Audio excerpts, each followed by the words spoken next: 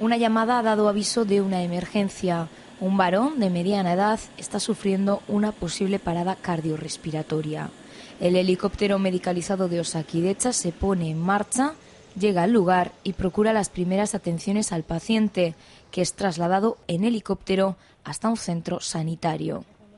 Esto es tan solo un simulacro, pero al año este helicóptero realiza más de 300 actuaciones reales. La rapidez de la intervención ha sido fundamental en muchos casos para salvar vidas.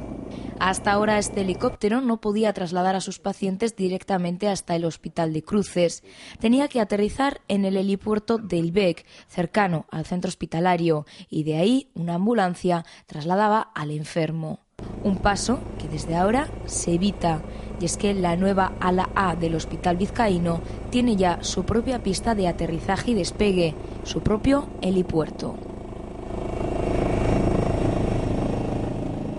Una infraestructura que moderniza y mejora de manera sustancial la atención de la red vasca sanitaria.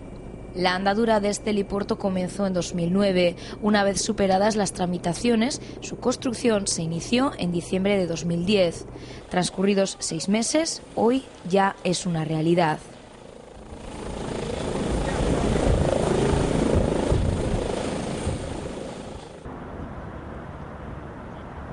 La seguridad en el aterrizaje y en el despegue ha sido primordial, colocándose todos los sistemas de balizamiento y señalización, una inversión total que asciende a más de 1.300.000 euros.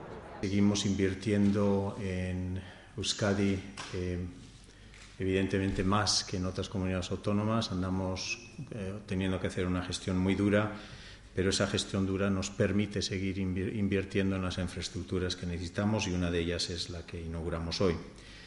Eh, ha sido muy compleja la, llegar a donde estamos hoy y ahora oiremos en parte por qué y es ese concepto de seguridad que además es muy próximo al ámbito clínico y enfermería y por lo tanto no es algo que necesita trabajarse mucho. Es evidente que el concepto de seguridad es algo que, es eh, lo que nos debe, nos debe conducir. El personal sanitario ha recibido cursos de protocolo de actuación. El helipuerto conecta a través de una rampa y un ascensor con las unidades de servicios críticos.